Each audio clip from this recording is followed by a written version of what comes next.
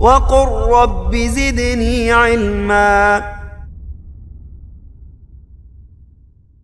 قوله سبحانه وتعالى بسم الله الرحمن الرحيم أي أبدأ بسم الله أو أقرأ بسم الله أو بدايتي بسم الله الرحمن الرحيم. والله هو المألوه المعبود حبا وخوفا ورجاء سبحانه وتعالى.